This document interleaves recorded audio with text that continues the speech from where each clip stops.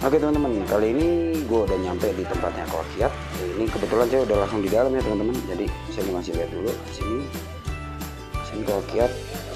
Nih, jadi tempatnya Kokiat di sini dia jualan banyak barang ya, banyak barang ada layangan. Kalau gudangnya ke belakang saya nggak begitu ngerti. Nah,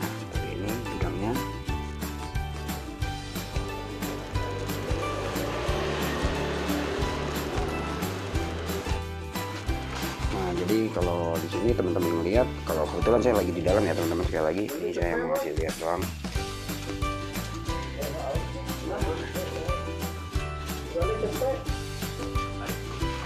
susah barangnya mainnya bos nggak bisa harga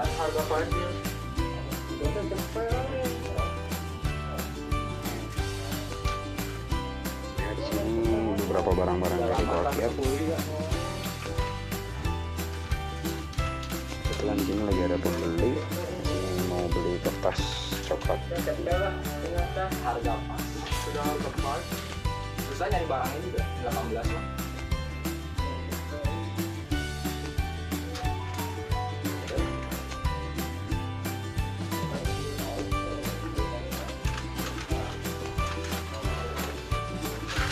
apa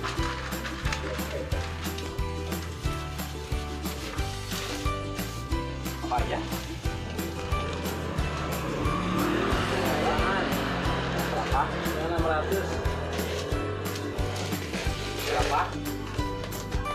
500 yang bagus-bagus ada ada teman-teman di sini gue mau nanya dulu sama Halo, namanya siapa? Boleh kenalan nggak? boleh Hah, namanya siapa? Sama Pak Agus Pak Agus. Ini beli layangan itu buat jual lagi atau? Buat jual lagi. Oh, buat jual lagi. Iya. Itu di mana tempatnya? Lembang Oh di Lembang. Oke di sini adalah Pak Agus. Ini salah satu teman kita agen layangan yang suka beli di sini. Oke. Jadi buat teman-teman, halo kok. Teman-teman nanti buat kalau misalnya mau beli-beli silahkan langsung ke tempat rakyat. Cek it out. Kayaknya ini nggak sih nggak kasih Oh gitu. kerjaan gitu kalau yang khusus mah nggak ada ampun gitu bisa seminggu seminggu lebih lebih yang diempat yang kemarin ya yang itu sebulan lebih Oh disimpan ya? Dikeringinnya? kincir Ah, masih dikincir sebulan lebih. kecuali kabaran kincir Tapi kalau misalnya kincir, nggak mau nanya kok. Kalau kincir itu kalau gelasannya misalnya lama nih dikincir, misalnya kita bikin kan, itu kan makin lama makin padat tuh kok. Apakah nggak ngerusak dari kincir sendiri gitu? makin padat maksudnya Iya makin, iya makin kan makin kenceng dia neken ke si kincir teh. setahu saya ya saya pernah malaya yang dua tahun dikincir Oh dikincir mah. di, bikin di atas Heeh. eksperimen Heeh. Pak, dikincir berapa tahun ada? Pernah saya. Simpan aja gitu. Dan sebenarnya menurut saya nggak cukup lah asal kira-kira kering. Eh, cukup kira-kira kering lah sebulan atau ini ya. Udah nggak usah tahun-tahun nggak usah.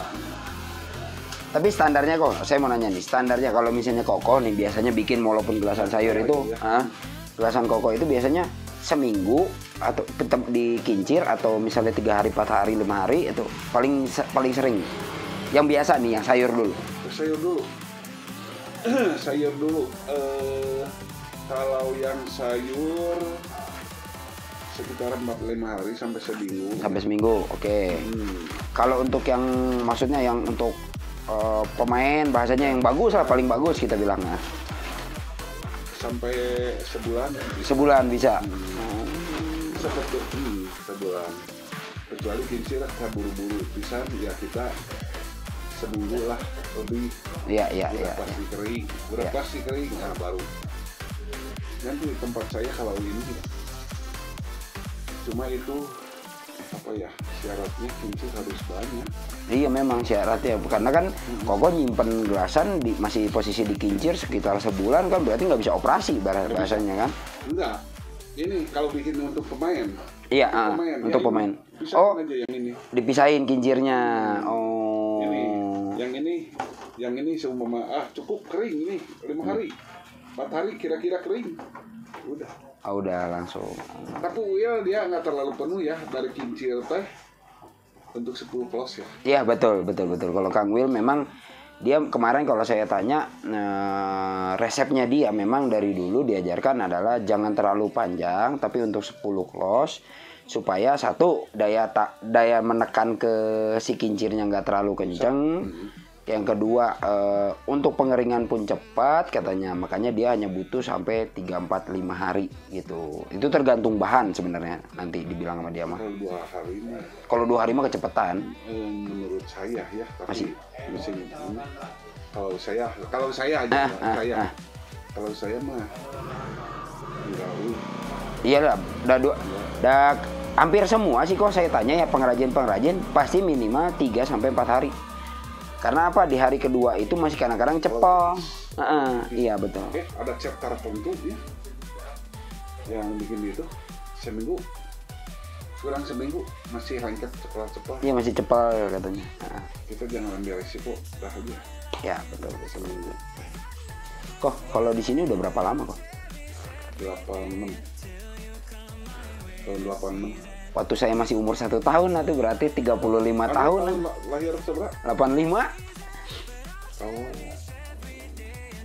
iya Iya berarti waktu saya masih satu tahun berarti di sini udah. Saya mah waktu kecil ya ngegelas begini jarak kurang lebih 30 meter lah eh, segi, gimana tempatnya Hmm. begini tungtung terus mau seribu meter teh Iya,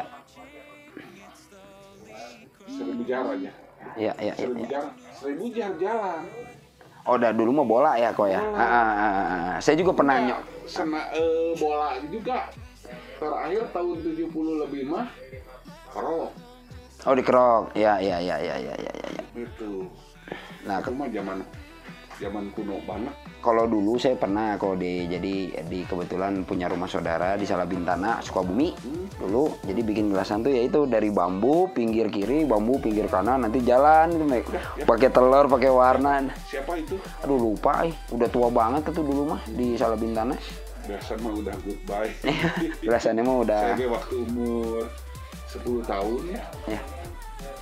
Gitu ya terus jadi kapan bebenangan Iya, benar, Tapi benar, udah benar. banyak saya ge pengen tahu. Cuy kan di dalam Iya, ya ah. si durian teh. Iya. Kalau saya mah di pinggir jalan. Oh di pinggir jalannya. Waktu saya tahun 65 waktu kecil pengen buat untuk jajan lah. Iya iya iya. Eh bikin 10 minta rancangnya beli paling nggak seberapa seribu perak lah kurang lebih atau 2000 perak. Dibikin ke rambutnya di rumah. Di rumah.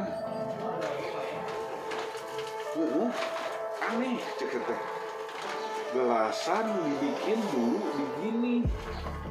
Tapi pemain di Cidurian banyak banget. Iya iya. Banyak banget. Gelasannya dari mana? Yang tahu saya mah.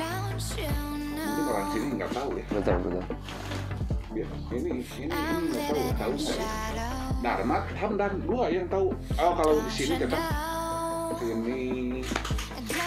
kan terus Messi iya. Daria cuma berapa banyak? Gitu ya tapi pemain banyak. Pengen pengen tahu. Banyak pemain dulu waktu saya di Cidurian Iya. Jadi dulu waktu nggak mau nanya kok. Ini waktu dulu agen buka di sini tahun 86 di sini. Ini, ini berarti sambil sekalian rumah berarti dulu nih. Oh enggak. Oh ini kontrak. sama kontrak. Oh gitu. Ini sampai sekarang udah jadi hak milik tapi kan? Kalau dulu mah saya teh eh, mulai ke Jawa mah 70 lebih Hmm. nggak di sini saya saya masukin ke bapaknya sini masukin ke bapak Oh gitu. saya masukin yang apalah yang dia perlu Iya iya iya iya. Ya. kalau di sini mah dia senior juga senior aja Ini Kang Japar itu. hmm, sama ini sama Kang Rudi. Eh, bukan Rudinya eh, Oh, bukan. bapaknya almarhum Oh almarhum. ada tiga satu lagi sahabat saya sekarang udah nggak ada Tapi emang di Bandung itu saya mau nanya kok. Di Bandung itu kan ini masuk di wilayah Bandung lah ya. eh, gang Sereh ini maksudnya ini memang dari dulu eh, gang untuk jualan layangan dulu. ya itu ini dulu Jafar sekitar sembilan Dulunya Japar duluan berarti. Oh pego sorry pego pego aduh hampir lupa pego Oh Pego. pego oh itu mah orang-orang jadi semua pego Siap, dari kedutaan dari Dambin Dan oh iya. hmm, saya sekarang udah itu pego orang Palembang Oke oke oke.